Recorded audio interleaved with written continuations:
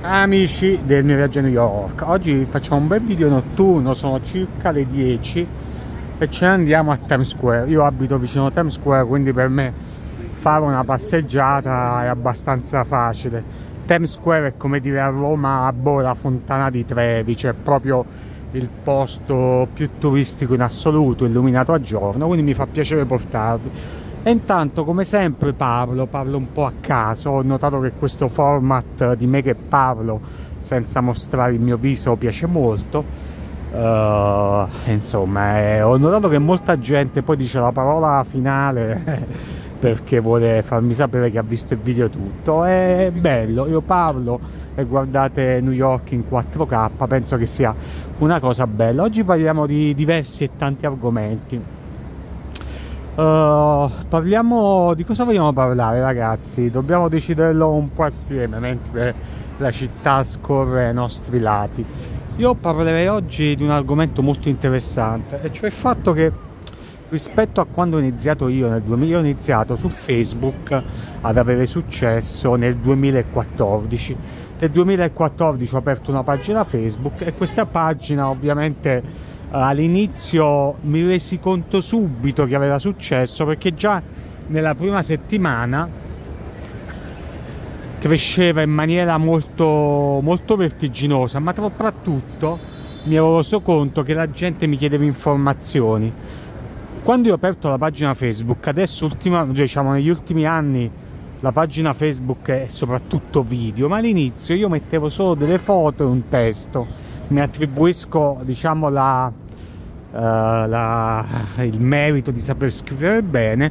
Quindi vidi che la gente mi, mi chiedeva informazioni e, e, da là poi ho iniziato ovviamente a creare il tour, TV, il tour operator Sicuramente il boom c'è stato quando ho iniziato a fare i video su Facebook, poi i video sono stati premiati in un primo momento, poi penalizzati, poi premiati di nuovo però io ho vissuto sui social un'epoca diversa, io dico sono stato un pioniere, perché quando io ho iniziato a fare video su Facebook e facevo il video della pizzeria e facevo il video di quello che faceva il cappuccino con l'uovo dentro, davvero c'ero solo io, non c'era nessuno che lo facesse, su Facebook eravamo pochissimi, qualcuno c'era su YouTube, no? Però se andiamo a vedere ero stato proprio uno dei primi a raccontare tutto questo. Ovviamente adesso la situazione è assolutamente cambiata, il mondo dei social in soli otto anni si è, ha visto moltiplicarsi, credo, soprattutto dopo la pandemia. Non so tra l'altro se avete visto anche sui social quanti, quante persone no, copiano, imitano anche il format Il mio viaggio a New York utilizzando poi anche lo stesso nome perché ovviamente rispetto all'inizio dove c'era solo io, come è normale che sia, si sono moltiplicati i creatori di contenuti, soprattutto su TikTok. Adesso gran parte di coloro che fanno contenuti di viaggio, all'inizio c'ero io da New York, c'era Human Safari, no? Mi ricordo, eravamo proprio pochi a farlo. Adesso se vai su TikTok, giustamente, le nuove generazioni fanno continuamente, totalmente video. Poi TikTok è una piattaforma che spesso ti dà, ti dà una visibilità momentanea perché l'algoritmo tende a dare qualche minuto di celebrità a tutti. Ma qual è la grande differenza tra me e la maniera in cui ho condotto i social e un creator che nasce oggi su TikTok o nasce oggi questo, in questo nuovo mondo dove i social sono pieni di contenuti. Cioè all'inizio, quando io facevo il video di una pizzeria, la cosa era rivoluzionaria, nel senso non lo faceva nessuno. Adesso non solo lo fanno tutti, ma anche le pizzerie stesse sono diventate protagoniste. Quindi che io vada a fare una video nella pizzeria non cambia molto, però la differenza sostanziale qual è?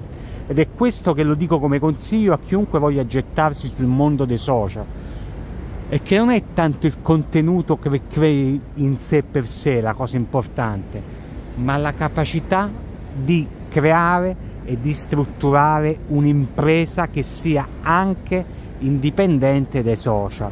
È là che io mi attribuisco il vero merito. Il mio vero merito non è stato, secondo me, io analizzo molto, molto spesso la mia storia, anche perché poi il caso del mio viaggio a New York è diventato uh, anche un caso studio per la London School of Economics, se scrivete il professore Paolo Taticchi e scrivete Piero Armenti, vedete c'è tutti i case study, uh, c'è, c'è proprio il case study online dell'università quindi il merito che io mi attribuisco non è tanto l'aver fatto contenuti, ma l'aver costruito un'impresa solida. E questa secondo me il vero valore ed è questa la cosa che sfugge molti a queste persone che sono nuovi ragazzi, content creator. Perché? Perché si trovano ovviamente probabilmente anche un'epoca diversa, nel senso che io quando ho iniziato neanche era molto facile avere le imprese che ti dicevano ti do dei soldi, fammi pubblicità.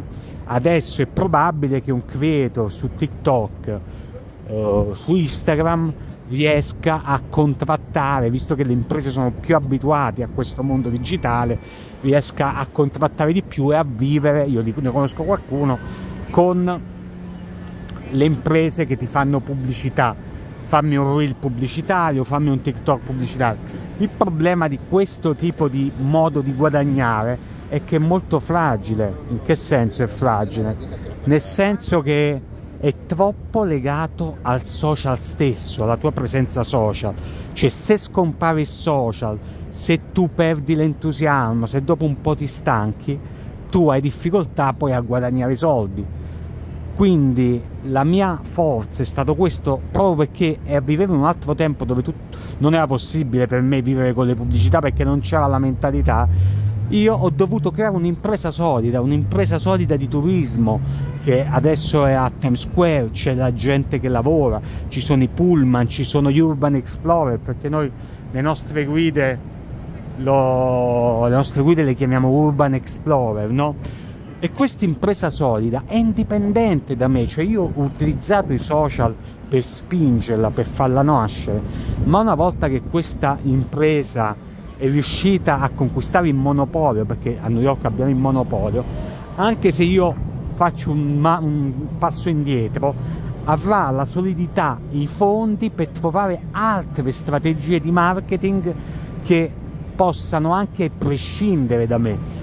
Io faccio sempre l'esempio, domani mi stanco di stare sui social, può succedere, ma avremo la forza economica di cercare nuovi giovani già affermati nell'ambito del turismo, con i video ovviamente, e farli nostri ambassador, cioè la forza sui social, e questa lezione che do, se voi siete sui social e siete all'inizio, la cosa importante e fondamentale, lo dico per tutti i ragazzi che mi seguono, è che voi utilizzate i social, i social vi danno esposizione perché siete bravi, ma questa esposizione la dovete convertire, la vostra community, così, chiamiamola, in un'idea di business, cioè in qualcosa che sia vostro, che abbia un valore intrinseco indipendente dai social e dalla vostra figura.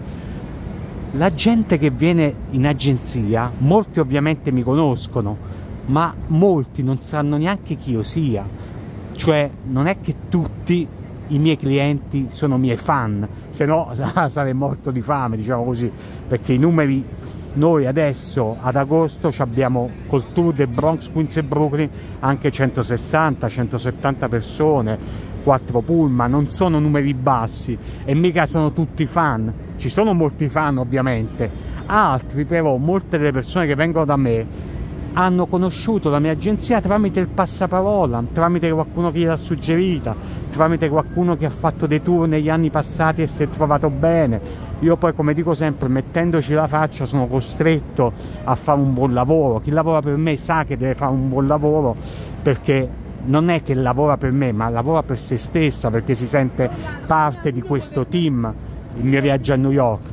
Vi dico anche un'altra cosa molto sincera, io da io non percepisco, non sto percependo nessuno stipendio adesso dalla mia agenzia, eh. da quando è iniziata la pandemia ancora non percepisco stipendio, io non percepisco una lira dal mio viaggio a New York, niente, cioè zero. Se tutto va bene prenderò gli utili a fine anno, ma io prima percepivo lo stipendio, ma dato che c'è stata la pandemia ho detto ok, adesso che ripartiamo concentriamoci nel far ripartire al massimo l'agenzia perché valore l'agenzia stessa poi quando sarà possibile mi prendo lo stipendio, però un imprenditore, questa è un'altra cosa che pochi sanno, che uno dice è vero che l'imprenditore è quello che alla fine fa i big money, però alla fine e intanto rischia tanto ma io da dicembre adesso io non sto prendendo stipendio d'agenzia fortunatamente guadagno da, in altre parti no? guadagno in un altro modo. Però ecco quando uno pensa all'imprenditore se ne va da Lamborghini mentre il dipendente uh, soffre la fame non è vero. Prima viene sempre il team. Qualsiasi imprenditore voi non troverete polemiche online su di me da questo punto di vista. Qualsiasi imprenditore sa benissimo che il team viene prima di tutto, perché tu devi costruire un'azienda che ha valore, devi costruire valori per i tuoi clienti e se il team è infelice, insoddisfatto e così, tu non costruisci valore.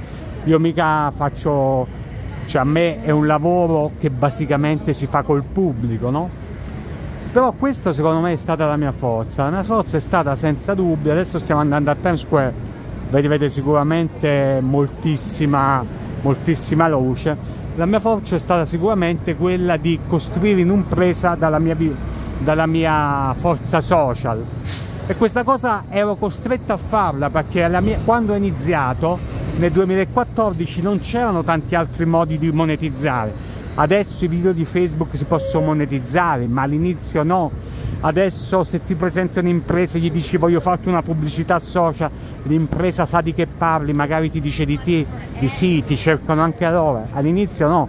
Quindi io per una serie di circostanze ho, avu ho avuto all'inizio una visibilità tale, ma l'unica maniera di utilizzarla e di monetizzarla era costruire una mia impresa e mi è andata bene perché io ve lo dico già molti di questi tiktoker che fanno viaggi e turismo adesso non riusciranno se non costruiscono l'impresa a creare qualcosa di solido. Saranno per sempre legati al social alla loro visione social. Se si stancano se non lavorano un mese se a un certo punto cambia l'algoritmo se l'algoritmo non ti premia non ti trovi nulla in mano all'inizio ti va bene perché inizi a vedere che arrivano i soldi qua là e sei felice ma devi costruire un'impresa tua. Ciao ragazzi ciao. Ma devi costruire sicuramente un'impresa tua devi costruire un valore che domani se ti presenti a un fondo di investimenti quello non, non è che vuole vedere i tuoi numeri social quello vuole vedere quanto hai fatturato qual è uh, sono quelle le cose che vuole vedere. Quanti clienti vai, qual è il tuo ricavo insomma c'è una serie di parametri. Va bene. Stiamo camminando a Times Square quindi potete vedere la pazzia e la bellezza di questa piazza mentre io continuo a parlare. E quindi ecco di questo volevo parlare. Io all'inizio veramente eravamo solo pochi a fare a fare i social. Io lo so eh, perché anche molti di coloro che sono nuovi su TikTok mi dicono Piero ci siamo ispirati a te però la mia fortuna è stata che io sono riuscito a creare un'impresa e la dovete creare anche voi. Continuiamo a c'è moltissima gente come potete immaginare. È veramente un casino Times Square ragazzi. Continuiamo comunque a camminare vi faccio vedere la quantità di turisti che ci sono poi affrontiamo tanti altri argomenti parleremo anche delle altre piattaforme Facebook. Volevo solo soffermarmi su questo caos assurdo. E guardate Times Square illuminata al giorno è qualcosa di unico, di eccezionale. Qualcosa che ha un suo fascino un suo fascino fantastico. Tutti i turisti che vengono a Times Square ovviamente. Io ogni tanto penso sai è normale ogni tanto pensi come sarebbe la mia vita fuori da New York ma io mi sono talmente tanto abituato a questo caos a questo stile di vita che dal mio punto di vista sarebbe veramente impensabile no? io vivo praticamente nel cuore di New York è come vivere alla fontana di Trevi no? quindi io quando scendo boom sono già super immerso nel caos devo stare solo attento a non farmi buttare sotto qua perché guardate anche i turisti come ecco qua passiamo tocca a noi Ovviamente, come potete immaginare, anche sui social sono cambiati molto. Nel 2014, quando ho iniziato, Facebook era il social eh, più importante di riferimento, no? Instagram era molto di nicchia e c'erano solo foto, però Instagram era proprio agli albori, non era importante come adesso e TikTok eh, non esisteva, non so se esistesse la sua forma precedente, Vinali, mi pare si chiamasse così, però TikTok non esisteva. Quindi la maniera, l'unica maniera che avevi per avere una presenza social era fondamentalmente usare o YouTube che già era una piattaforma video diciamo importante oppure c'era Twitter grosso modo però poi è cambiato tutto perché dopo Facebook è arrivato l'età d'oro di, di, Instagram no? e quindi tutti coloro che, che stavano su Instagram avevano grande visibilità Adesso è cambiato tutto di nuovo, adesso praticamente io sono convinto che se nascerà un nuovo Armenti a New York e prima o poi succederà che qualche ragazzo riesca a fare a New York a livello di social, non di impresa, eh? A livello di social sicuramente qualcuno riuscirà ad avere visibilità, cerchiamo di camminare perché ho difficoltà, avverrà su TikTok, adesso chi vuole provare a avere visibilità sui social ha una sola piattaforma disponibile perché le altre funzionano meno ed è TikTok che ha un algoritmo che ormai io chiamerei neanche più algoritmo ma artific intelligenza artificiale tale che se fai dei contenuti interessanti questi vengono premiati con una visibilità assurda. Pensate a quello che fa i panini e a quanta gente vedi i suoi video no? eh, e quella è la forza di TikTok. Quindi adesso tutti i nuovi personaggi no? pensate anche alla ragazza che parla in corsivo. Se vedete tutti i nuovi personaggi sono, stanno nascendo su TikTok. Nessuno nasce su Instagram su Facebook neanche. Ai miei tempi quando ho iniziato su Facebook c'ero io, c'erano De Giaca c'era la pagina Il Milanese Imbruttito eravamo proprio pochi che utilizzavamo Facebook ma adesso sono tantissime pagine su Facebook, ma poi ci sono i TikToker, coloro che sono attivi su Instagram, però ora come ora è TikTok senza dubbio la piattaforma che ti dà maggiore visibilità. Quindi se uno dice ok voglio provare anch'io una mia diciamo carriera sui social, il mio consiglio è iniziate amici cari, iniziate da TikTok. Utilizzate TikTok, fate video eh, e, e sarete bravi, lo ripeto, ci sarà Ah, mi st- è un casino. Lo ripeto ancora una volta, io sono abbastanza sicuro che ci sarà prima o poi un ragazzo di 25, 26, 27 anni che racconterà New York come io l'ho fatto, poi ogni generazione cambia. Racconterà a New York su TikTok e diventerà conosciuto e famoso per la sua generazione. Quello che io penso sarà molto difficile faccia è replicare quello che ho fatto io, cioè partire da una visibilità social e creare un'industria solida, un team solido, inserirsi nel settore dell'economia newyorchese e acquistare una sorta di monopolio. Quella è la parte più difficile che manca a molte persone che stanno sui social, cioè riuscire, come ha fatto anche, non so, Chiara Ferragni, a utilizzare la propria immagine per spingere la, la propria impresa. Intanto ho aperto il famoso Jollibee qui a Times Square. Questi saranno billionaire Jollibee, eh? Devo venire, devo venire a provarli. Questa è un'impresa filippina, un fast food filippino che piace molto. Oggi, dopo aver parlato di questa cosa, cioè di come i nuovi personaggi emergeranno con, su TikTok e stanno emergendo tantissimi, molti hanno vita breve, altri non riescono a, a creare un business ma rimangono legati a, sono influencer puri, rimangono legati, cioè guadagnano con le pubblicità. Ora parliamo di un altro argomento, cioè vedo che c'è molta critica ultimamente sul fatto che molti sì? Sì, vai, vai. No, non ci credo. Ciao. Sai che è la prima volta che vengo a New York io? Prima? Eh, vabbè, ci tornerai sicuramente. Sicuramente. Grande. Ciao. Ciao. Ciao, ciao. Allora, continuiamo amici. Sul fatto che spesso si dice che ci sono molti influencer che chiedono di andare a un ristorante e non pagare.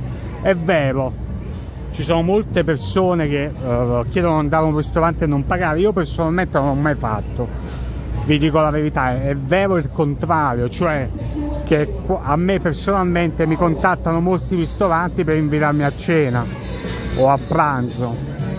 Aspettate che c'è Michael Jackson qua.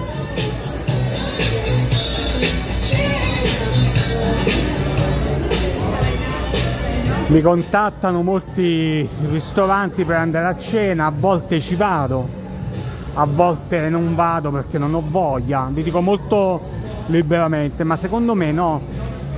Se hai un profilo importante su Instagram o, o su TikTok e vuoi andare in un ristorante, secondo me ti svaluti proprio professionalmente se gli dici dammi la cena e ti faccio il TikTok, perché fa un po' la figura del morto di fame. Io credo che bisogna agire in maniera diversa.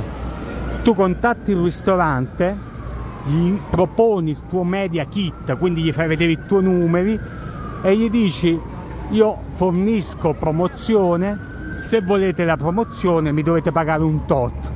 Non dico che vi devono pagare molto, potete dirgli anche 50, 100 euro, 150 euro, no? Però proporsi come una persona che offre un servizio promozionale ti fa fare più bella figura, poi magari il ristoratore ti apprezza di più, cioè paradossalmente il ristoratore è più probabile che accetta se gli mandi un media kit, gli fai vedere i numeri, gli chiedi dei soldi, perché gli fai capire che ciò che fai ha un valore, piuttosto che magari gli dici ti do, dammi cibo in cambio di visibilità magari tu gli dici guarda ti faccio questi sono i miei numeri. Ti faccio la pubblicità mi dai la mia tariffa è 200 euro. Se ti va bene va bene. Magari il ristoratore ti dice guarda purtroppo non ho quel budget. Magari ti dice no non sono interessato però non, non si mette a insultarti perché tu gli hai fatto una proposta pubblicitaria lui ti dice non sono interessato. Oppure ti può dire guarda sono interessato ma non uh, se vuoi puoi venire a cena e, e ti offro la cena, te lo propone lui. Io vi consiglierei di rifiutare, cioè una volta che voi chiedete ovviamente di essere pagati per il vostro servizio pubblicitario, poi se accettate di farlo per la cena fate un po' una figuraccia, però teoricamente potreste anche accettare eh, e dire ok va bene, accetto. Uh, e vi siete presi, però capito, non fate la figura dei morti di fame, perché è brutto, cioè io metterei anche vergogna di chiedere a un ristoratore vengo da te e vengo a, a cena gratis, no, presentate un media kit come fanno le persone, le imprese e, e, e, dite la vostra tariffa, poi il ristoratore deciderà se, se dice di no e voi quel ristorante volete andare, vi presentate come un normale cliente, pagate, se volete fare i video li fate, Ovviamente non essendo una pubblicità potete dare magari un giudizio anche un po' più sincero, perché se un ristoratore... Ciao, ciao. Come stai? Bene, bene, come stai? Bene. bene. Benissimo. Ciao, ciao, ciao. Addirittura, di dove siete? Roma. Benvenuti, benvenuti. Certo. Cosa? No, di notte niente occhiali, di notte niente occhiali. Ah, grazie. Aspetta che... No ragazzi, non Sei bloccato? Ho mandato un messaggio e non c'è risposta. No, mi sei Dove me l'hai mandato? Su Instagram. Ma il mio personale? Eh, ho provato, sì. sì eh, ma non li ricevo. Una... No, vabbè. Dai, giri, sicuro. Ah, un gruppone. Siamo... Ciao ragazzi, ciao bambini. Eh, chi sei? Non sapete chi sono. Eh. Giustamente. Conosciamo New York da una vita, ma Ah. da anni. Però da qualche anno ho detto ma guarda quanto è bravo, poi ti seguo proprio con quello che dicono di te. Ciao, ciao, ciao. Ciao. Sto facendo un video. Un video per strada. No, no. Pubblico tutti. Facciamo.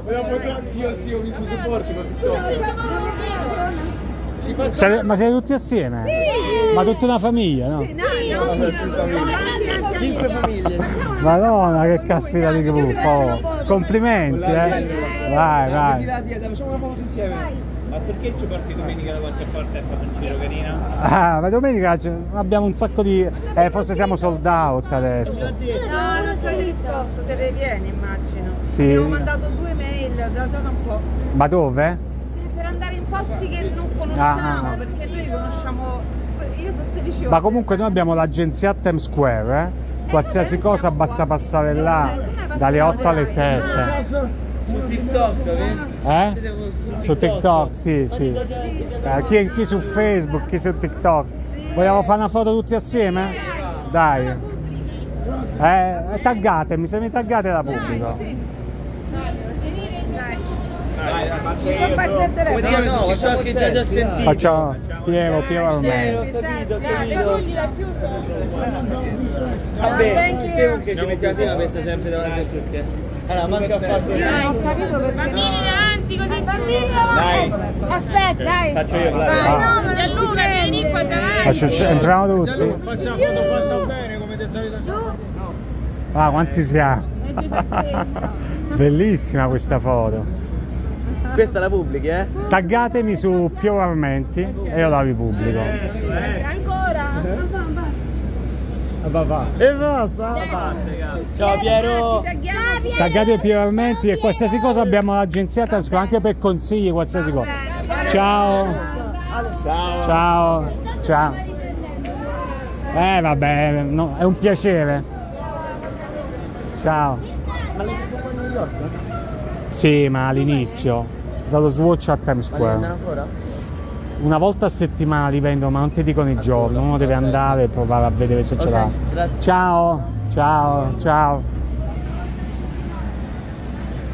Ah, benissimo amici. Come vedete ogni tanto succede di essere fermati per strada. Continuiamo a parlare di ciò che stavamo, di ciò di cui stavamo parlando, e cioè il fatto ecco che non dovete svalutarvi. Siete giovani, state sui social, avete avuto un minimo di successo magari nella vostra città. Approcciatevi alle aziende in maniera professionale, senza messaggi con cuoricini. Ciao, vengo da te, ti faccio vedere. Ciao, ciao, ciao, ciao, ciao, ciao. Allora dovete fare senza me messaggi cuoricini, vengo, ti faccio qui, perché vi svalutate, voi dovete apparire comunque come persone professioniste. Nulla vieta di cercare di fare accordi pubblicitari, chiamate il ristorante, salve, io fornisco questo servizio, questi sono i miei numeri, questo è il lavoro come lo faccio. Se vi interessa il mio servizio pubblicitario, questa è la mia tariffa. Il ristorante non può umiliare, insultare, dirti ah sei un pezzente, vuoi mangiare gratis, perché tu stai offrendo un servizio pubblicitario, può accettare o non accettare, può negoziare, può farti un'offerta, poi vi garantisco che quando arrivate a un certo livello non avete neanche bisogno voi di contattare il ristorante, perché saranno i locali, se fate food, no? Poi ci sono tanti altri settori. Cioè io vi faccio un esempio, Martina, che è la mia ragazza, eh, ha 120-121 mila dollari, eh, dollari scusate, follower su, su Instagram e la contattano continuamente imprese di shampoo, di bellezza, personal trainer per fare pubblicità e ti pagano.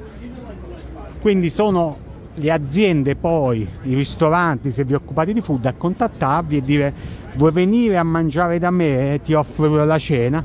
E là vi potete togliere la soddisfazione voi di dire guarda purtroppo se vuoi che venga a mangiare da te la mia tariffa è 500-600 euro il ristoratore è un imprenditore come tutti gli imprenditori può decidere se investire. Perché io vediamo le cose in maniera molto moralistica. Eh mi hai chiesto i soldi? Qua no. Contrattazione pura, negoziazione, non c'è nulla di personale. Voglio fare pubblicità mio locale? Bene, mi scelgo 3 o 4 influencer, gli propongo, mi dicono le tariffe, posso negoziare.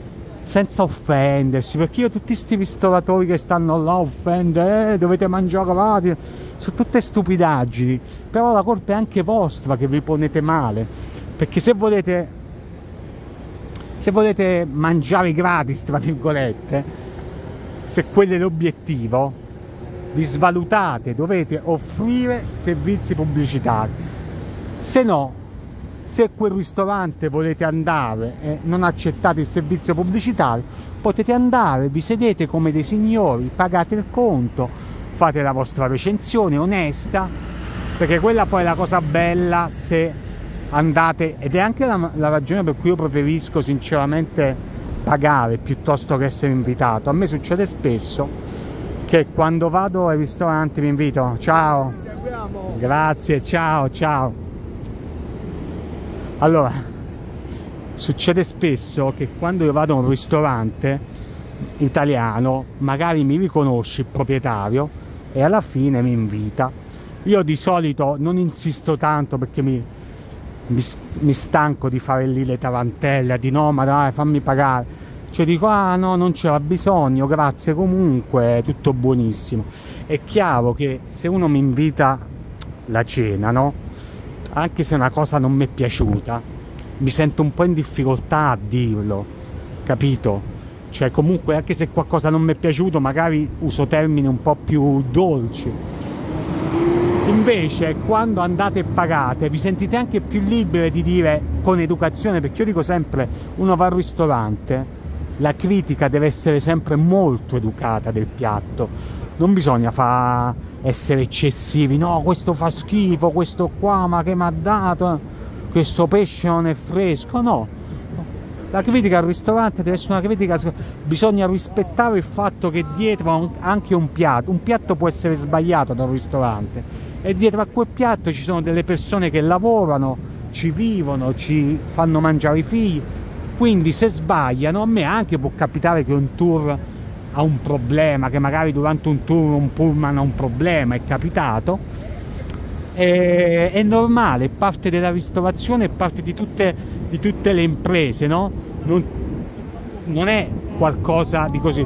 Quindi tu molto gentilmente puoi dire guarda, questo piatto mi è piaciuto, questo piatto l'avrei preferito più salato, questo non mi ha convinto, lo puoi dire. Però è chiaro che se fai promozione pubblicitaria, a quel punto non puoi metterti a criticare il piatto. Quindi da un altro punto di vista io penso che al ristoratore convenga non far pagare una cena e garantirsi una recensione positiva. No? Io se fossi un ristoratore, a me oggettivamente, se viene un influencer, io mi metto dalla parte dell'imprenditore dall'altra parte. Se viene un influencer anche abbastanza conosciuto, anche io non lo farei pagare perché in questo modo moralmente lo costringo, pensate l'intelligenza, a farmi una recensione positiva. A me non farlo pagare non è che mi costa tanto, cioè alla fine il cibo ce l'ho, non lo butto poi. Però mi garantisco, innanzitutto mi garantisco che non mi faccia magari recensioni negative, ma magari mi garantisco una recensione positiva anche se il piatto non l'ha convinto. Io penso che chi faccia impresa deve anche pensare a queste cose. Ora vi parlo anche di cosa succede quando per esempio ovviamente io ho un tubo operator e veramente ogni settimana abbiamo migliaia di persone quindi è chiaro ed evidente che quando a migliaia di persone qualche controindicazione può succedere no? può succedere qualcosa tipo non lo so anche semplicemente che la persona, la, la ragazza del mio team che fa un biglietto per l'Empire magari si sbaglia di data, mette una data al posto dell'altra. La mia teoria è che bisogna sempre dare ragione al cliente, nel senso che ovviamente se sbagliamo noi devi chiedere scusa e magari essere gentile e offrire anche qualcosa per il disturbo che hai creato, perché alla fine molto spesso non ci rendiamo conto quando si lavora nel campo dell'hospitality che basta un piccolo gesto, un sorriso, una piccola attenzione che cambia totalmente la percezione dell'esperienza. E sono le piccole cose che fanno i dettagli, come quando vai in una casa su Airbnb e magari il proprietario che magari non è a casa perché hai fatto il check-in automatico ti fa magari trovare una lettera scritta a mano in cui dai ben- ti dai benvenuto e magari una bottiglia di champagne. Sono queste piccolezze che cambiano la percezione. Quindi per esempio se ci sono dei problemi e se una persona si lamenta perché magari no io dico sempre cerchiamo sempre di accontentare il cliente. Ovviamente può capitare che ti trovi un cliente che ovviamente chi lavora nel campo del pubblico, chi lavora col pubblico sa che può tranquillamente capitare un, un, cliente impazzito che dice cose senza senso, fa accuse senza senso, però nella mia esperienza vi posso dire che veramente succede poco, di solito quando un cliente si lamenta di qualcosa molto spesso c'ha ragione, è questa la verità ed è sempre un feedback positivo per migliorare, perché noi non stiamo là a anche un ristorante, i ristoratori spesso gli fai una critica del piatto, si offendono, la prendono sul personale, iniziano a dire tu non capisci niente, io so tutto, ma chi sei tu? Sbagliano perché spesso le critiche, il 90% delle cose, hanno comunque un fondo di verità. Se io vado in bagno e trovo un bagno sporco, e lo dico in una recensione, a meno che non, cioè su 10 volte che lo scrivono, magari uno può aver esagerato e se lo può essere inventato, però gli altri probabilmente hanno ragione, cioè bisogna anche essere molto umili quando fanno una critica e tenerne conto per migliorare. Questa è la mia idea. Poi ognuno ovviamente uh, fa quello che vuole. Ricordate che siamo partiti ovviamente dal discorso che abbiamo fatto sul fatto che quando uno va e chiede a un ristorante di mangiare gratis sbaglia perché si mette in uno stato di inferiorità ma deve invece chiedere di fare una, uh, una pubblicità e questa anche oggi abbiamo parlato di questo argomento. Intanto guardate che bello l'Empire a me piace un sacco. Parliamo di un'altra cosa molto interessante e cioè di che vogliamo parlare ragazzi? Parliamo un po' non lo so. Non ci siete voi a suggerirmi degli argomenti abbiamo detto che su TikTok nascerà che i tempi sono cambiati.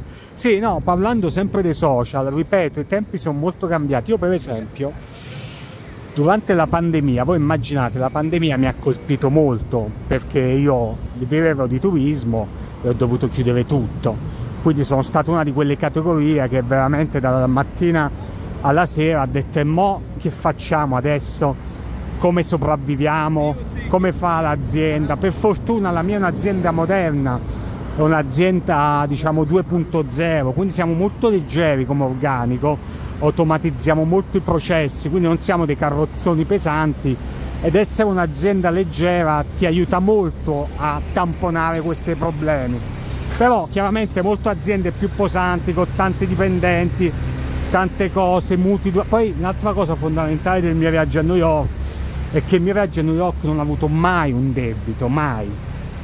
Però immaginate un'azienda che ha pure i debiti da ripagare, ha fatto un investimento. Noi è stata un'azienda che è un caso studio anche perché ho iniziato io da solo, tutti i profitti li ho reinvestiti e quindi la crescita è stata organica no, è anche veloce e organica utilizzando la forza dei social. Quindi la nostra diciamo, la struttura finanziaria dell'impresa è molto molto solida perché siamo stati sempre in attivo, eh, non abbiamo avuto problemi di nessun tipo, non siamo ricorsi mai al debito eh, e quindi è stato molto facile.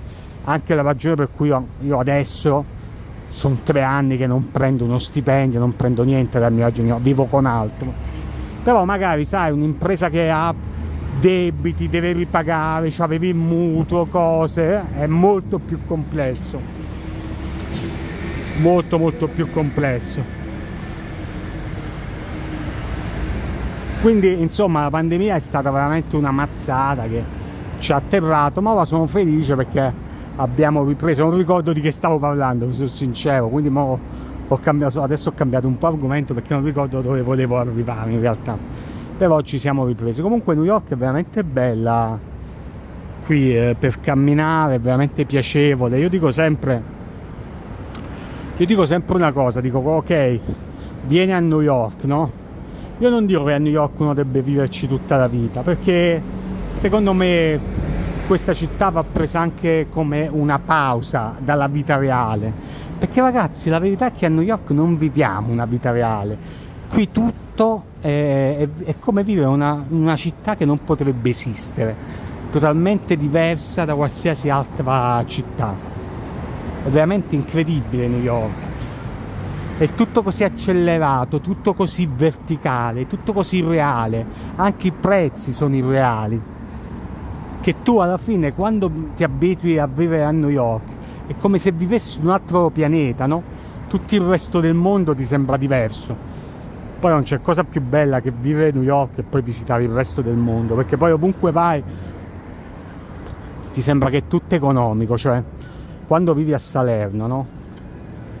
Salerno è una città relativamente economica, non ci sono grossi problemi, cioè mangi con poco, però quando viaggi da Salerno, io ricordo quando vivevo a Salerno e andavo a, via, a viaggiare in Finlandia, in, andavo in Finlandia e vedevo una birra a 12 dollari, 12 euro, o comunque l'equivalente di 12 euro, non so precisamente quanto costasse, eh, tu dici mamma mia è tutto così caro, quindi quando vai in vacanza e percepisci tutto caro, un po' stai stretto, invece quando vai in vacanza e percepisci che le cose sono economiche, ti sfizio quando vengo in Italia, mi diverto proprio a mangiare ristoranti perché mangio bene, ovviamente vado in ristoranti che so che sono buoni, perché non è vero che tutti i ristoranti sono buoni in Italia, anzi devo dire che molto spesso si hanno delle belle fregature anche in Italia, la qualità a volte è pessima, però quando becchi ristoranti buoni in Italia è una meraviglia perché mangi bene, e paghi un prezzo che reputi giusto, soprattutto se vieni da New York. Oggi sono andato a New York a mangiare in un posto per fare un video, ho pagato un sacco di soldi, in Italia ci avremmo mangiati in quattro e non mi ha neanche soddisfatto. Adesso stiamo salendo sulla Fifth Avenue che di notte è un po' vuota, non c'è nessuno. E allora tu dici, caspita, che fregatura, pago tanti soldi e non mi soddisfa neanche. Ebbene sì, amici. Questo è quello che vi volevo dire oggi mentre stiamo camminando sulla Fifth Avenue, abbiamo affrontato diversi argomenti eh, e questo è un ulteriore argomento che adesso sicuramente, visto che io mi sono imposto di arrivare a un'ora, dobbiamo affrontare diversi argomenti affinché sia possibile. Parliamo di nuovo dei social ancora, dai, che secondo me Qual è stata secondo me la rivoluzione dei social media? Io poi queste cose le studio proprio, ci ho fatto anche durante la pandemia, non avevo nulla da fare e ho fatto anche un corso su Facebook, un corso su Instagram, uh, un contenuto premium che trovate ancora adesso su ancora adesso è attivo su piuarmenti.com e ogni mese c'ha sempre delle buone vendite. E devo dire che sono felice perché sono corsi fatti da me in cui non ho, fatto, non ho, non ho raccontato nulla di teorico, ho detto solo le mie strategie per fare in modo che la mia pagina avesse un milione di followers. Tipo in questo corso su Facebook se andate su piramenti.com ancora attivo dico come pubblicare i video quanto devono essere lunghi i video quante volte pubblicare qual è il tema dei video. Ah ecco una cosa volevo dire durante la pandemia ovviamente io non avendo il turismo ho cambiato un po' il focus della mia pagina Facebook perché non potendo parlare delle attività turistiche di New York ho iniziato a fare video di intrattenimento. Vi dico la verità a me fare video di intrattenimento su Facebook non è che mi facesse molto piacere. C'è video magari in cui cucinavo video in cui magari mostravo cose strane video io preferisco fare questi video qua, video in cui io parlo, do un messaggio, racconto. E questo video qua, i video che faccio un po' così di intrattenimento su Facebook, può arrivare l'ultimo degli stupidi e lo può fare anche lui, anche se un ignorante, un incolto, una persona che sa solo imitare. Però fare un video del genere, in cui sto un'ora, parlo, racconto, con proprietà di linguaggio, do dei consigli, ispiro, questa cosa per farla devi essere veramente bravo. Quindi io preferisco fare questi video perché questi sono i video in cui io do il meglio di me in cui io faccio diciamo il vuoto tra me e gli altri no? I video in cui dici a New York devi vedere l'Empire devi vedere il One World Trade Center devi vedere eh, il Rockefeller. Questo lo possono fare tutti perché sono informazioni molto, molto semplici da dare ma spiegare in un video il senso di New York perché è importante il cinema a New York come utilizzare i social media, come approcciarsi se uno vuole mangiare gratis in un ristorante facendo pure. Questo secondo me è quello su cui io do un maggiore contributo. Però quando c'era la pandemia, non potendo fare video turistici su New York, oltre a fare video diciamo un po' più profondi, dovevo inventarmi qualche format e allora iniziai a fare video un po' più stupidi, tra virgolette, che però alla gente piacevano molto e che li distraevano. E quindi iniziai a fare video diciamo di, di cucina in cui io cucinavo, i piatti uscivano male, video in cui provavo cose, questi però sono video molto istruttivi, video in cui io compravo cose al supermercato e li provavo, perché andare nei supermercati di un paese ti dà sicuramente molta visibilità, cioè ti, dà, ti fa capire molto di quel paese e piacciono molto ho iniziato a fare una serie di video sui pacchi, gli italiani mi mandavano i pacchi, io gratuitamente li aprivo e facevo pubblicità alle loro imprese. E ho scoperto a un certo punto mi arrivavano ogni giorno un pacco, io facevo questi video, i video avevano un milione di view e io lì ho scoperto quante aziende ci sono in Italia, quante aziende ci sono in Italia buonissime che però non riescono ad esportare perché le persone non ci sono per farlo c'è un microcosmo di piccole aziende che se, se usasse l'esercito di laureati che ci sono in Italia conquisterebbero il mondo. Per me è assurdo che una piccola azienda di qualità non riesca ad esportare in America, che dovrebbe essere una priorità se vuoi scalare un po'. Poi se vuoi rimanere una piccola azienda è meglio comunque che esporti in America perché ci guadagni di più. Per me la prima cosa da fare è esportare in America. Quindi facevo questi video dei pacchi, facevo questi video in cui io magari acquistavo cose strane no? e le provavo sono molti pazzi poi è chiaro che adesso che ho ripreso il turismo ovviamente il focus della mia pagina Facebook che rimane il canale principale dei miei social ovviamente è cambiato di nuovo cioè vedrete meno video di me che cucino sì li faccio ogni tanto per diciamo riscaldare l'algoritmo però vedrete meno video di me che cucino e più video di New York più video in cui io cerco di dare un messaggio turistico pubblico foto dei gruppi. Tipo ho fatto una foto in cui ho fatto un collage di tre gruppi del tour del Bronx eravamo più di eravamo 150 160 persone perché ho, cambiato il focus della mia pagina. Durante la pandemia era il mio personaggio e intrattenimento puro perché i turisti non c'erano. Adesso probabilmente parlo di più di New York magari faccio meno visualizzazione perché quando fai intrattenimento hai un pubblico più vasto. Se parli di turismo tendi a catturare coloro che hanno diciamo voglia di venire a New York. Però è quello il pubblico mio di riferimento perché sono quelli che poi vengono in agenzia quindi probabilmente ne perdo un po' in visibilità però ne acquisto tantissimo per l'agenzia. E il mio obiettivo è fare in modo che il mio viaggio a New York sia continua ad essere l'agenzia leader qui negli Stati Uniti eh, quindi vabbè ho cambiato un po' poi ogni tanto ovviamente bisogna sempre variare perché la gente si stanca. Tipo se io faccio un viaggio in Italia faccio dei video anche se non c'entro niente su New York perché mi rendo conto che la gente piace vedere i posti in cui vado piace vedere la mia interazione con la famiglia piace vedere anche la mia interazione molto con Martina. Devo dire che le donne poi funzionano sempre un po' di più sui social perché la loro immagine attira di più oggettivamente l'attenzione rispetto a un uomo. Eh, un uomo è proprio, è proprio l'immagine video è molto catturata dalla presenza femminile. Quindi eh, quando faccio video su New York in cui dico oh, vi faccio vedere come vado sull'Empire, all'inizio piacevano molto, adesso essendo video visti e rivisti di cui ce ne sono, se andate su, su TikTok ce ne sono tanti, una cosa è che ero io uno dei primi a farlo, allora avevo tanta gente che vedevo, adesso invece faccio un ennesimo video sull'Empire, ne hanno visti già tanti, non fai la differenza, però quando fai le interazioni con la famiglia eh, o con la fidanzata così invece tu vedi già che il video va molto molto meglio questo per dirvi un'altra cosa che secondo me è fondamentale veramente centrale. E cioè l'altra cosa che voglio dirvi è che chiaramente ovviamente sui social tutto cambia velocemente. C'è inutile che stiamo lì a dire a pensare che una cosa che funziona oggi funzionerà anche domani. Vi faccio un altro esempio molto semplice. Come se andate adesso vedete video di tanta gente che cucina. All'inizio mi ricordo che c'era solo in cucina con Benedetta fosse giallo zafferano c'erano due o tre pagine adesso tutti cucinano su TikTok su Instagram è una quantità totale di persone che cucina ci sta un ragazzo che cucina sul terrazzo mi pare a Roma no?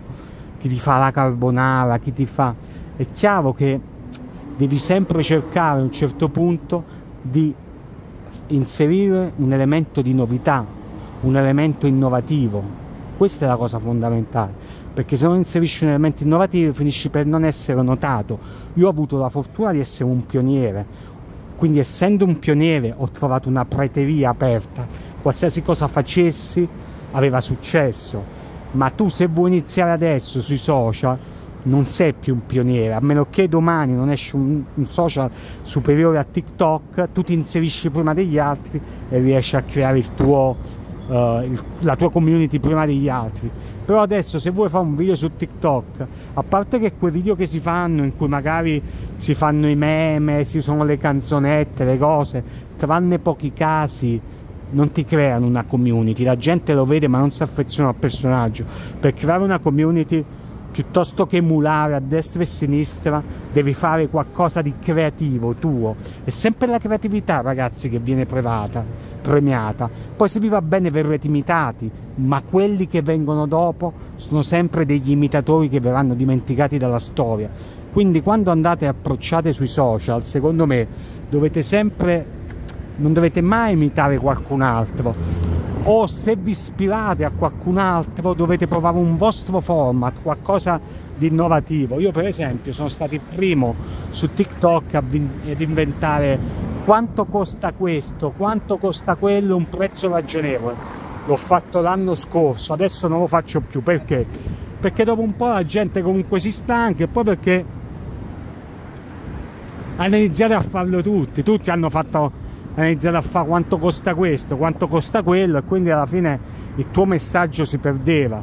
Quindi devi sempre continuamente innovare, creare cose nuove, inventarti cose nuove, mai pensare al social come qualcosa di fisso, se no scompari dopo un po'.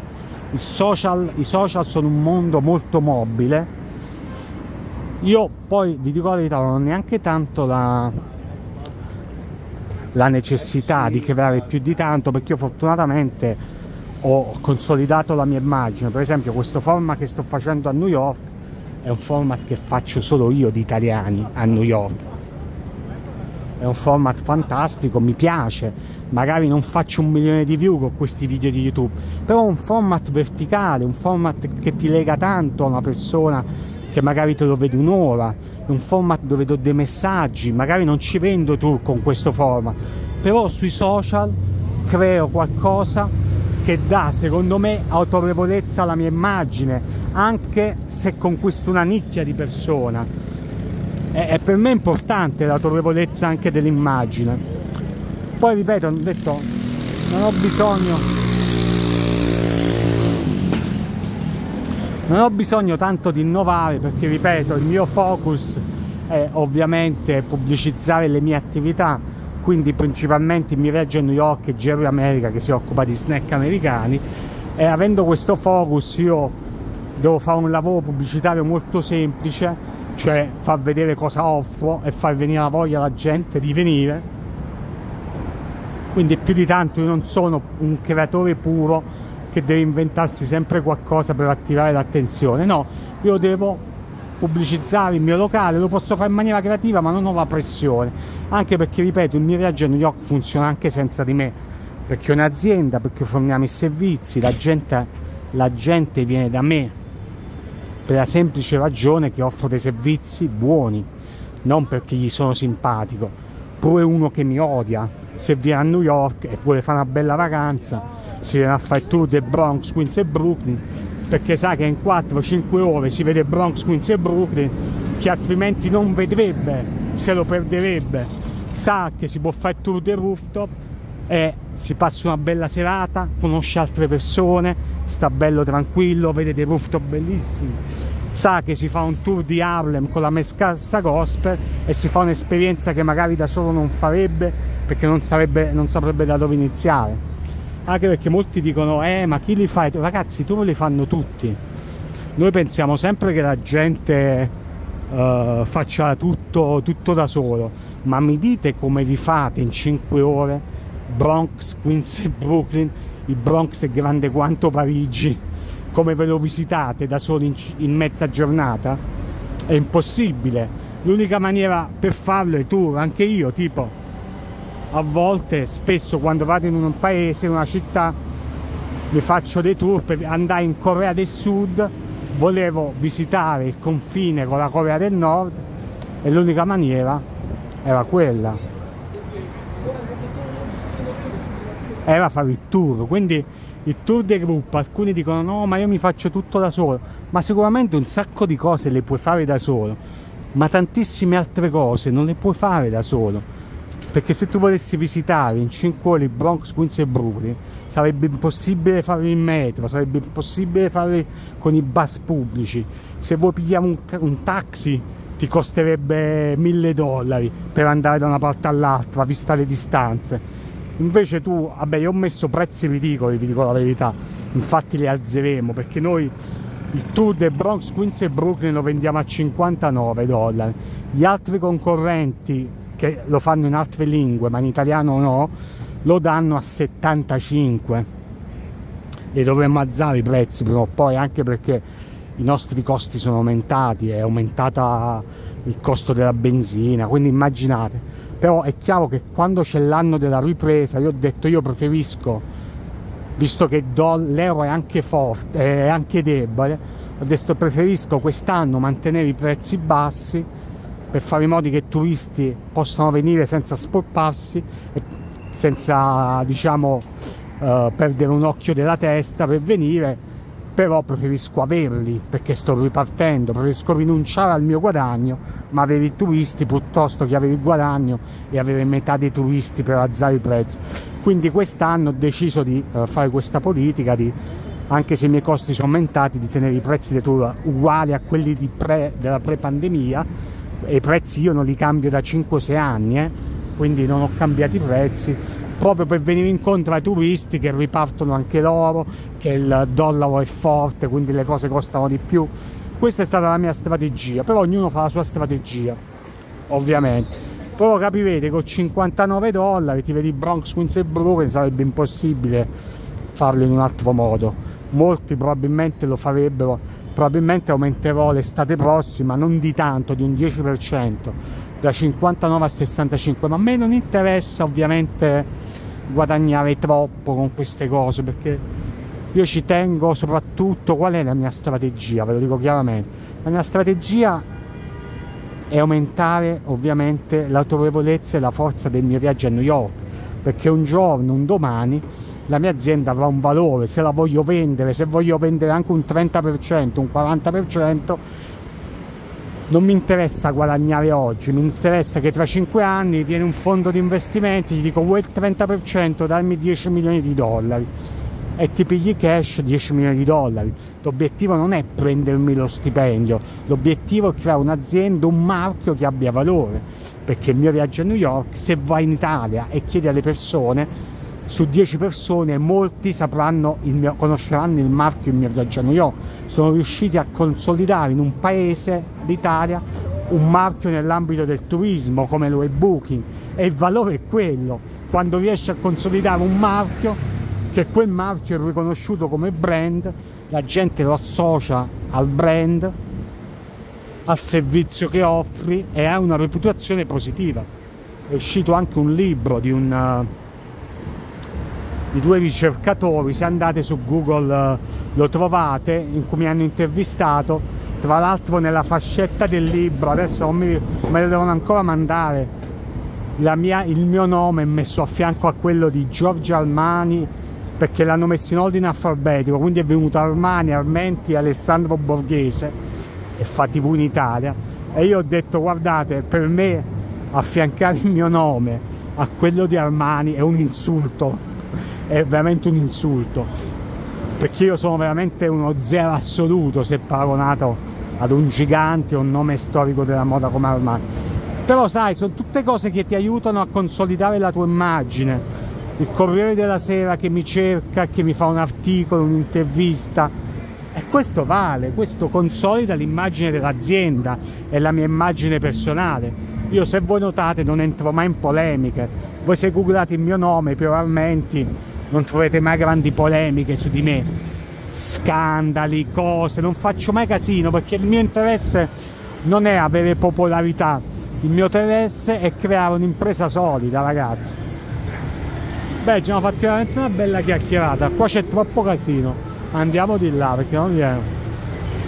Quindi quello vi dico, utilizzate, allora ritorniamo all'argomento di prima, tanto questa chiacchierata continua ancora, utilizzate i social per costruire una community, non per fare pagliacci da quest- partite dalla community per capire che esigenza ha la community e cosa potete offrire alla vostra community, quale prodotto fisico o quale servizio. Io ho offerto servizi turistici, ma voi potete fornire shampoo, creme, qualsiasi cosa o aprirvi anche una pizzeria, perché no? Create la community, aprite un business, utilizzate i social per promuovere il vostro business.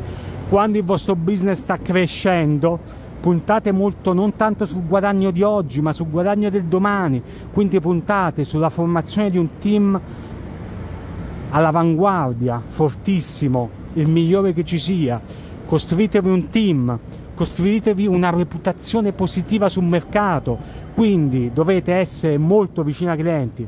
Per carità ci saranno sempre coloro che si lamenteranno ma fa parte del lavoro sbagliare qualcosa anche io come tour operator ho fatto degli errori io ricordo qualche anno fa, vi racconto questo aneddoto, non c'erano italiani perché la facemmo con i tedeschi sta cosa. Organizzammo una crociera di Capodanno, quindi andammo a affittare qui sull'East River una barca che poteva contenere 100-150 persone e organizzammo una festa. Era una festa, italiani erano pochi, forse meno di una decina, però c'erano molti tedeschi, molti inglesi. Avvenne che quel capodanno ci fu il record di gelo a New York. La barca partì noi ovviamente non eravamo responsabili perché noi avevamo affittato la barca. Quindi non è che noi la barca era nostra l'avevamo affittata quindi ci affidavamo a questa persona. Nel bel mezzo del mare ragazzi che succede? se ne va l'elettricità se ne va l'elettricità mentre ci sono tipo meno 20 gradi a New York questi poveri turisti fanno un capodanno di merda, si, tra virgolette si puzzano dal freddo su questa barca e non si riusciva a risolvere perché questi qua non sapevano che fare poi riuscivano a far venire una barca e trenarla io ovviamente ero mortificato io avevo, avevo, zero responsabilità perché mi ero affidata a questi qua loro avevano responsabilità però si erano trovati anche loro in una situazione eccezionale Vabbè, ovviamente ci furono lamentele, chiedemmo scusa, rimborsammo, facemmo di tutto. Eh, e però capita ragazzi, sono cose che nell'industria, in qualsiasi capi, campo capita, e fa parte del rischio di impresa. E, eh, le cose possono andare storte, può succedere a tutti, però io per esempio non capisco per niente quelli là che tipo prendono, hanno un hotel e iniziano a trattare male i clienti, fanno i presuntuosi. Ma come pensi di andare avanti? Gli americani su questo sono molto più intelligenti.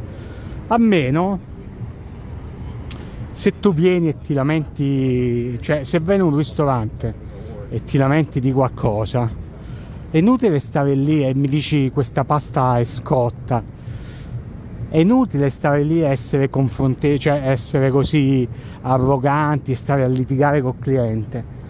Non ti costa niente cambiarla, non ti costa niente dire te la posso cambiare con qualcosa, offrire un dolce alla fine. È il dettaglio che fa la differenza. molti dovrebbero essere veramente preparati un po' meglio secondo me a stare in questo campo bisognerebbe fare lezioni perché poi il valore ripeto il mio valore il mio io non prendo soldi dai clienti nel senso che spesso quei soldi del cliente io ci pago le spese. Non è quello il mio obiettivo guadagnare soldi dal cliente. Noi facciamo il viaggio di gruppo dall'Italia adesso ne facciamo uno che arriva adesso ad agosto ne stiamo facendo uno per dicembre dove noi abbiamo margini bassissimi, non ci guadagniamo quasi niente, veramente ci guadagneremo il 10%, l'8%. Perché lo facciamo? Perché è marketing per me, un gruppo che viene dall'Italia, io faccio il video per, con loro, lo faccio per marketing. Voi che fate il tour avete prezzi buoni sul mercato, perché è costoso, però offriamo tanto io quando ho fatto il mio viaggio di gruppo non voglio farla l'avventura voglio l'hotel qua a Times Square 4 stelle con colazione inclusa voglio includere nel mio viaggio di gruppo pensate il gruppo che viene adesso il 22 agosto parte con Emirates. Io voglio che il mio gruppo abbia un'esperienza magica. Non voglio che faccia scali o che venga con una compagnia povera no che è scadente. A me vengono con Emirates. Si fanno tutti i tour, hanno i biglietti, hanno un accompagnatore H24, il gruppo ovviamente ha anche molto tempo libero per stare da solo, hanno tutto incluso. Io ci guadagno poco perché ovviamente non posso metterci grandi non posso metterci un grande non posso farlo pagare chissà quanto perché altrimenti la gente non è che in questo periodo storico poi spende tanto. Ci guadagno poco, ma non mi importa, per me è una spesa di marketing, una spesa grazie a quale io aumento l'autorevolezza del mio brand nella prospettiva di dare valore al brand, perché un futuro quando quel brand è valore, ha valore, io monetizzo attraverso la cessione delle quote a dei fondi di investimento. È là che c'è il mio guadagno, il mio guadagno non è adesso allora io dico una cosa, se insegnassero queste cose al liceo, se insegnassero queste cose a scuola, io tutte queste cose le ho imparate a New York, la gente saprebbe fare impresa molto meglio. La gente si, si pensa che il guadagno di un tour operator sono i soldi dei clienti, ma no, là non ci guadagni niente, quei soldi ti servono a mantenere l'impresa, a pagarci tu le, le tue spese. Il cliente non, il cliente fa un grande affare quando viene dal tuo tour operator perché è trovato un tour operator che ha come obiettivo creare un brand solido non pigliarsi i soldi da te. È là che c'è la distanza e oggi vi abbiamo dato anche un po' di lezioni di marketing farvi capire. Quindi ripeto quando create il brand non pensate che voi dovete guadagnare oggi voi dovete guadagnare domani. Voi dovete essere competitivi, dovete riuscire o a fare prezzi buoni, i prezzi ovviamente là dovete decidere voi come posizionarvi sul mercato, se fare, se fare concorrenza sui prezzi, se invece posizionarli con un pubblico medio-alto, perché poi uno pensa, un altro errore che fanno le imprese o gli imprenditori è pensare che la concorrenza avvenga solo sul prezzo, del tipo chi ha il prezzo migliore vince. Ragazzi, questo è un errore assoluto ci sono casi in cui il prezzo è una leva importante, dipende dal tipo di impresa, ma ci sono altri casi dove il prezzo non è una leva importante. Pensate a coloro che magari scelgono di comprarsi una Gucci e non una Michael Kors. C'è gente che non bada al prezzo più basso, magari bada invece a qualcosa di diverso e tu gli devi dare qualcosa di diverso. Quindi tu puoi deciderti dove posizionarti nel mercato non ti devi posizionare per forza sul prezzo basso. Ti puoi posizionare anche, dipende dal modello di business, anche su un prezzo più alto, un'esperienza diversa, essere percepiti dal consumatore come un qualcosa di maggiore qualità che quindi è disposto a pagare di più, oppure potete fare una cosa, magari avete un prezzo più alto del vostro competitor, però grazie ai margini di quel prezzo avete più, più, soldi per fare marketing e quindi acquisite più clienti. Allora il competitor dice ma perché questo si offre lo stesso prodotto mio a prezzi più alti a più clienti? Perché ha una strategia di impresa diversa, ha deciso di tenere i prezzi più alti ma avere più soldi per il marketing.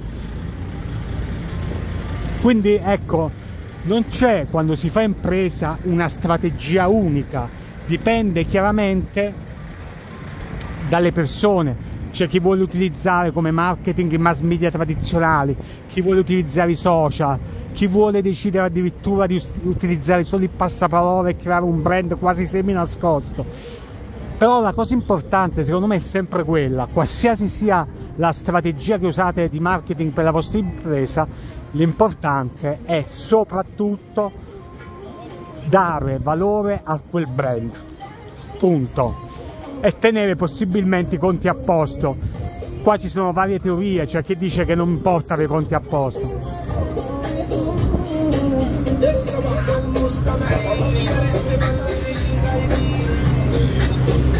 Chi dice che i conti non bastano perché puoi anche indebitarti, però secondo me rischi di perdere tutto ragazzi.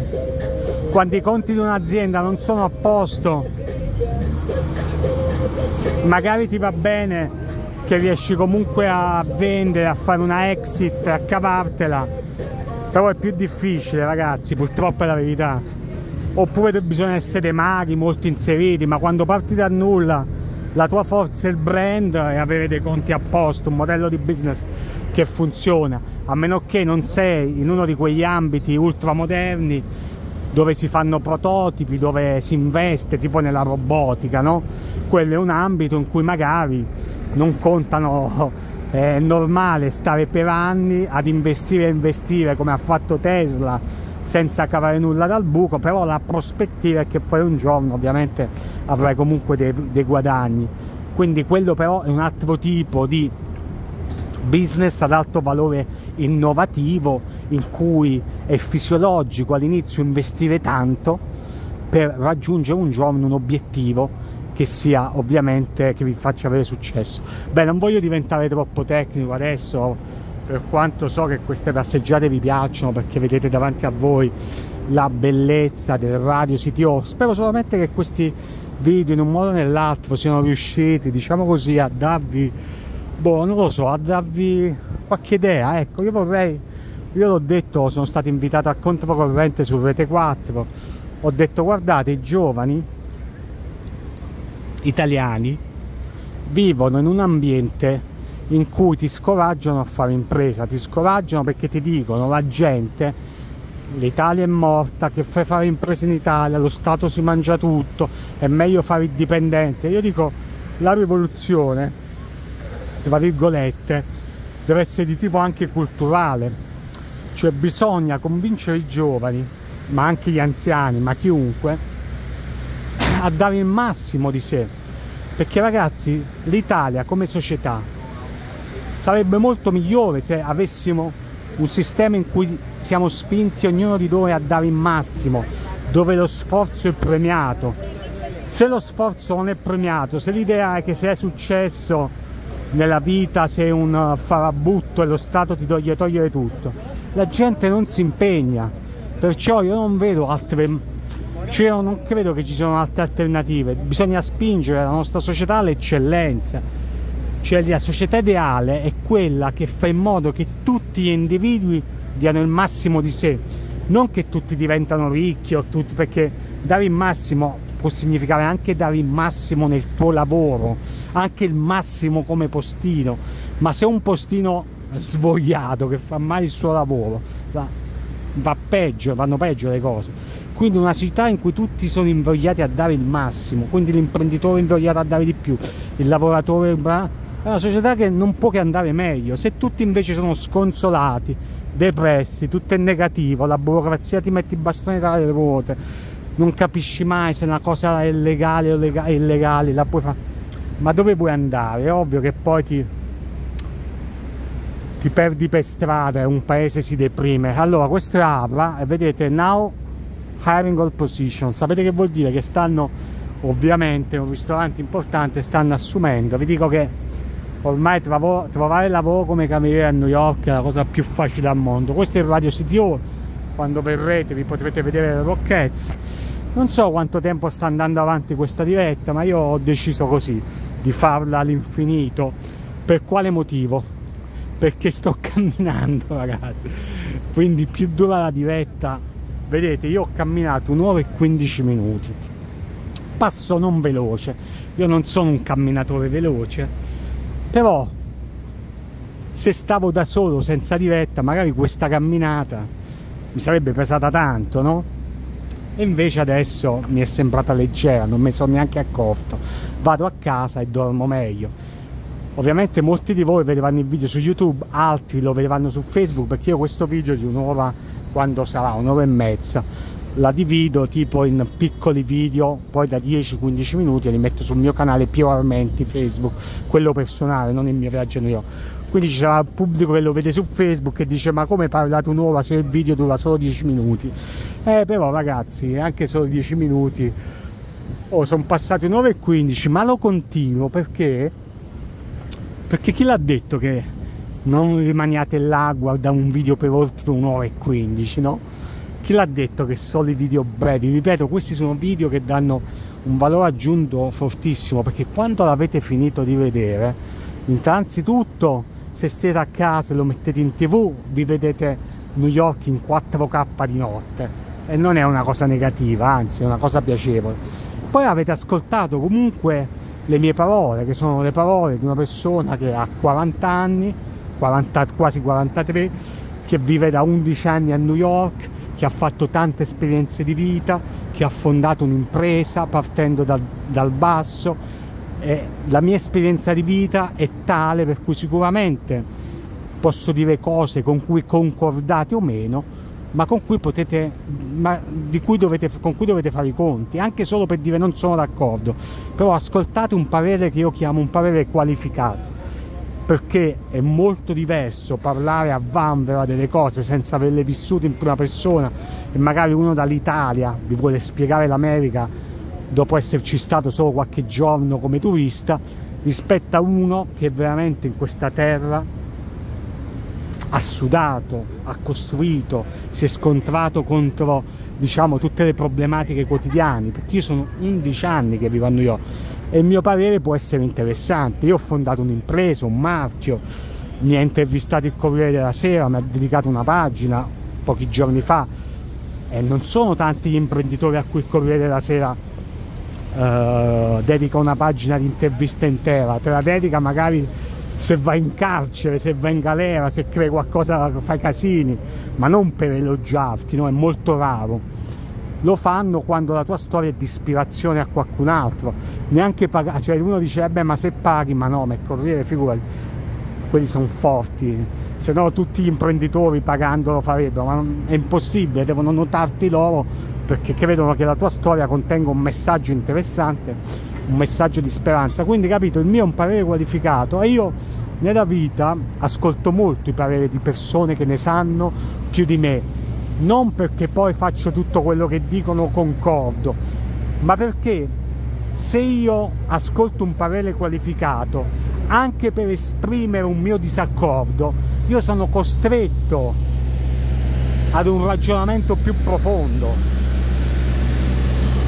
La bellezza della dialettica, dello scontro dialettico, è che quando ti confronti con gente più in gamba di te, che ne sa più di te, che ha più esperienza di te, per affermare le tue ragioni sei, con, sei costretto ad alzare il tuo livello dialettico, a ricercare più fatti che siano a tuo favore quindi migliori come persona perché alzando lo scontro dialettico, dovendo trovare prove a tuo favore per contrastare un opinione qualificato, tu aumenti il tuo lavoro, il valore intellettuale. Se mi devo mettere a discutere con una persona che non ne sa niente, il cui pensiero è senza fondamento, è troppo facile no? contrastarlo. Vi posso dire che però quando un parere è qualificato è molto difficile essere proprio totalmente in disaccordo perché è un parere serio, importante, che magari, magari si può ecco, limare quel parere, si può cercare di mettere in risalto altri punti che sono, sono stati trascurati da quella persona. Voi potete dire sì Piero hai parlato bene del brand ma ti sei dimenticato di dire questo, questo, questo oppure hai dato troppa importanza a questo aspetto, troppo poco aspetto, a questo magari in questo caso ti sei contraddetto la dialettica è bella perché uno confrontandosi con persone qualificate aumenti il suo livello intellettuale. Quando sono andato a parlare a controcorrente, davanti a me avevo una platea, se andate e scrivete controcorrente Piero Armenti, vedete un estratto. Controcorrente la trasmissione su Rete 4 del 17 agosto. Io avevo una platea di politici, nessuno è riuscito a contraddirmi. Nessuno è riuscito a dire che non avessi ragione, mi hanno ascoltato in silenzio, voi sapete che in queste trasmissioni litigano un po' come galline e pollaio, però io lo dico davvero, era molto difficile contrastare me, perché la mia, mentre loro parlavano, sai, i politici parlano un po', parlano di tutto, un po' a caso e litigano, però avevi dinanzi a te uno che parlava con cognizione di fatti, uno che viveva qua, parlava dei giovani avendo fatto una certa esperienza di vita e come fai a contrastarlo? Non c'hai gli strumenti intellettuali né le prove a tuo favore per poter dire no, qua non hai ragione. Perché? Perché avevo alzato così tanto il livello del dibattito con la mia esperienza personale che gli altri, se mi avessero attaccato, dato che non sono stupidi, avrebbero fatto, si sentivano se ho questo l'attacco, vengo percepito negativamente dal pubblico perché non ho grandi elementi per attaccarlo. Bene amici, d'altronde diciamo la più grande quando vorrete, quando io vi auguro uh, diventerete personaggi pubblici, vi intervisteranno, una delle, delle cose che dovete fare prima di un'intervista è cercare di capire se l'intervistatore vuole metterti in difficoltà, quali punti può toccare. Cioè voi dovete, prima di andare in un'intervista o uno scontro anche da un giudice, dovete lavorare molto sui vostri punti deboli e cercare delle argomentazioni che possano chiaramente trasformare in punti deboli in punti a vostro vantaggio. Perché sulle cose in cui sono, siete, è come una partita di scacchi, uno scontro dialettico sulle cose su cui siete forti si deve preoccupare l'avversario. Ma tutti abbiamo dei punti deboli. Noi diciamo una cosa magari l'avversario ci noi dobbiamo pensare quando affermiamo una cosa cosa l'altro potrebbe dirci per contrastarci e pensare anche a cosa dobbiamo rispondere noi. Quindi bisogna sempre essere preparati quando si fa uno scontro non bisogna mai andare all'avventura. Bisogna pensare a come rispondere alle cose che dirà diciamo l'avversario e quindi prepararsi bene. E questa è l'unica cosa. Perché altrimenti se non vi preparate bene fate la figura delle persone superficiali e l'avversario vince. Va bene cari amici miei. Mamma che bella chiacchierata ci siamo fatti. Questa è proprio una di quelle chiacchierate che durano questa è proprio una sfida. Cioè io veramente questa chiacchierata vi sfido ad arrivare alla fine. Devo anche comprare la carta igienica perché l'ho finita non sono convinto arriverete alla fine perché questa è veramente lunga però vi ripeto abbiamo parlato di tutto quindi neanche saprei dire di cosa abbiamo parlato no?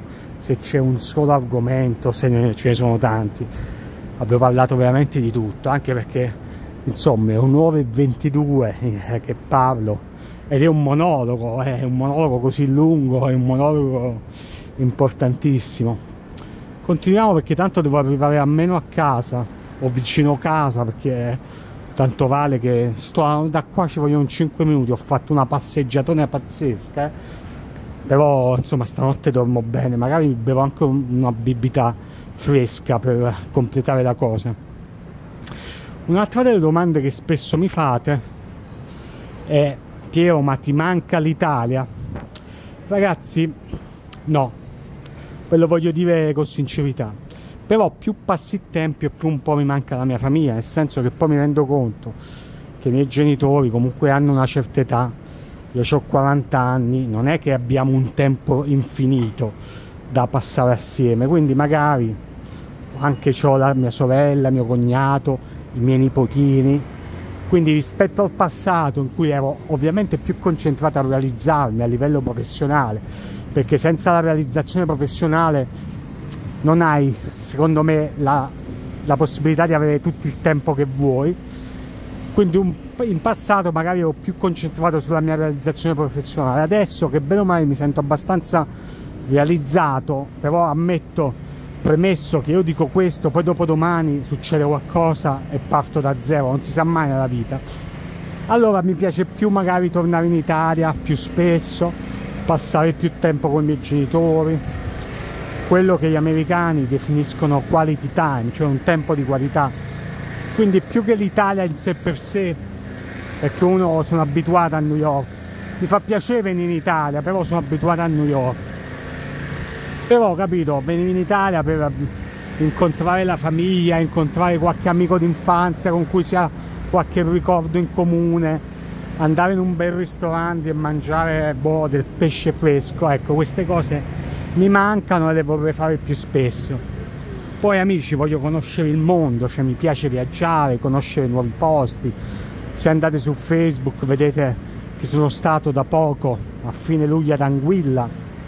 Anguilla è una bellissima isola dei Carabi con delle acque stupende, è una isola che gli italiani fondamentalmente ignorano, ma di una bellezza senza, senza senso. Io dico sempre non voglio mettermi a discutere se il male in Italia è bello o no, però c'è una differenza sostanziale, soprattutto ad agosto il mare italiano è veramente troppo affollato e io personalmente, arrivato a quest'età, uh, amo andare in un posto dove c'è poca gente. Quando sei ragazzo ovviamente cerchi bordello, come si dice da me, cioè cerchi di andare in posti dove ci sono altri ragazzi, stai tutti assieme, fai casino. Stile Ibiza o Mykonos. Ma io quando sono andato in Grecia a Mykonos c'era troppa gente l'anno scorso. Sono stato male vi dico la verità. Troppa gente troppa gente. Eravamo affollati. Mi è piaciuta molto di più Ios sono andato questo, in questo hotel che si chiama Calilo. Andate a vedere le foto che hotel era. Avevo praticamente in pieno agosto la spiaggia tutta per me la spiaggia di un livello altissimo sono stato in santa pace. Quindi sono arrivato in una fase della mia vita dove quando vado in un posto cerco anche un po' di esclusività. Quindi sono andato ad Anguilla e mi sono trovato questo, questa baia Mondays Bay si chiama, con questo hotel, con questa acqua che veramente va alla fine del mondo,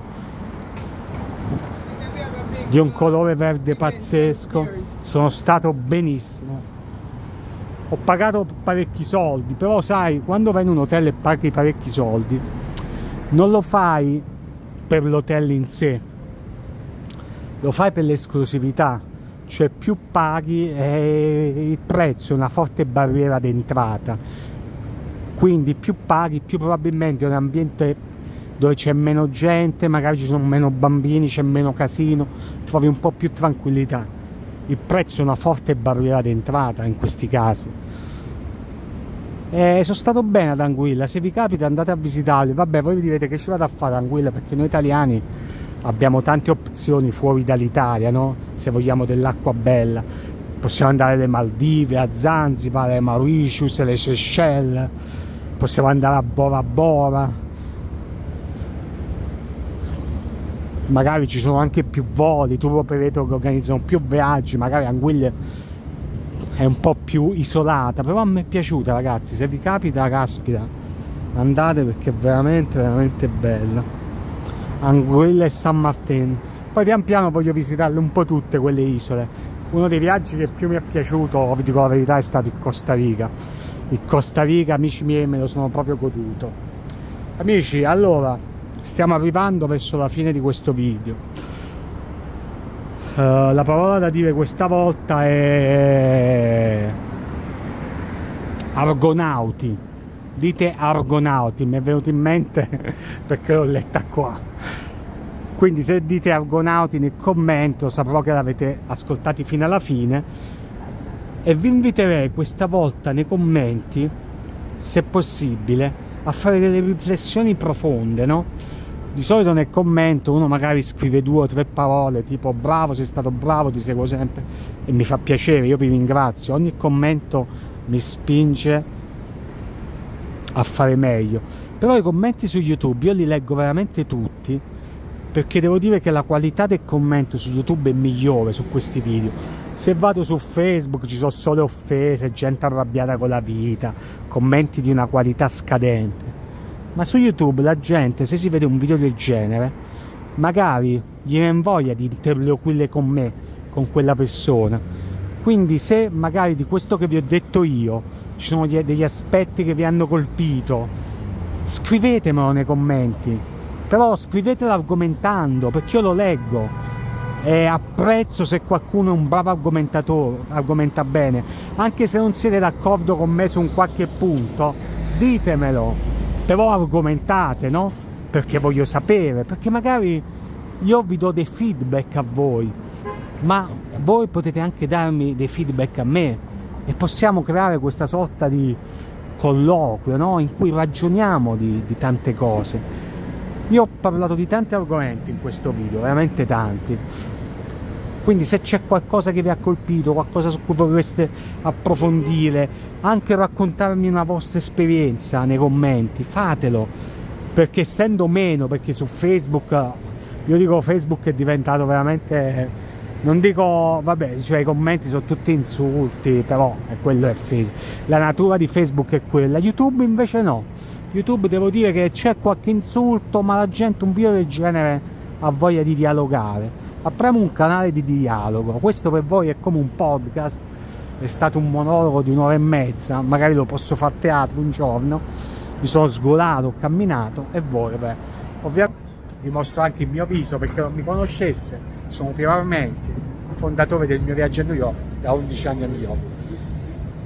La parola l'ho detto un attimo fa, se andate indietro la vedete, da dire nei commenti e comunque commentate. Ciao, wow!